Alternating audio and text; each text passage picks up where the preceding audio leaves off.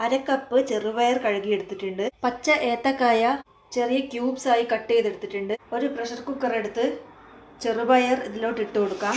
ഏത്തക്കായും കൂടി ഇട്ട് കൊടുക്കാം. കാൽ ടീസ്പൂൺ മഞ്ഞൾപ്പൊടി ഇട്ട് കൊടുക്കാം.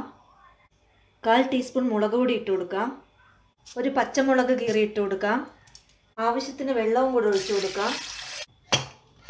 മൂന്ന് വിസിൽസ് വന്നപ്പോൾ പ്രഷർ കുക്കർ ഓഫ് ചെയ്തിരുന്നു. നന്നായി വെന്ത് കിട്ടിയിട്ടുണ്ട്. ആവശ്യമുള്ള ഉപ്പ് ചേർത്ത് കൊടുക്കാം. കടുക് താളിക്കാം. അതിനുവേണ്ടി വളരെ കുറച്ച് എണ്ണ ഒഴിച്ചു കൊടുക്കാം. കാൽ ടീസ്പൂൺ കടുകിട്ട് കൊടുക്കാം.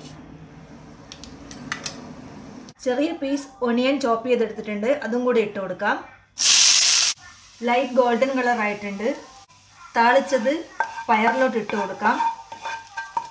കറി റെഡി ആയിട്ടുണ്ട്. വെയിറ്റ് ലോസിനുള്ള ഡയറ്റ് ചെയ്യുന്ന ആൾക്കാരാണെങ്കിൽ തേങ്ങ ഒന്നും യൂസ് ചെയ്യരുത്. അതാണ് ഏറ്റവും നല്ലത്. ഇനി ഡയറ്റ് ചെയ്യാത്ത ആൾക്കാരാണെങ്കിൽ നോർമലായിട്ട് ഇതിൽ കുറച്ച് തേങ്ങയും കൂടി ഇട്ട് യൂസ് ചെയ്യാവുന്നതാണ്. വളരെ ടേസ്റ്റിയാണ് പിന്നെ നിങ്ങൾക്കിത് ദോശ ചപ്പാത്തി ചോറ് എല്ലാത്തിന്റെയും കൂടെ കഴിക്കാം. ഇന്നത്തെ വീഡിയോ ഇഷ്ടമായെങ്കിൽ നിങ്ങൾ ലൈക്ക് ചെയ്യണം. നിങ്ങളുടെ എല്ലാ കമൻസും കമന്റ് ബോക്സിൽ ഇടണം. അതുപോലെ തന്നെ ആദ്യമായിട്ടാണ് നിങ്ങൾ എന്റെ ചാനൽ കാണുന്നതെങ്കിൽ ചാനൽ ഒന്ന് സബ്സ്ക്രൈബ് ചെയ്യുക. അതിന് അതിന്റെ തൊട്ടടുത്തുള്ള ഒരു ബെൽ ബട്ടൺ ഉണ്ട്. അതും കൂടെ ഒന്ന് ക്ലിക്ക് ചെയ്യുക.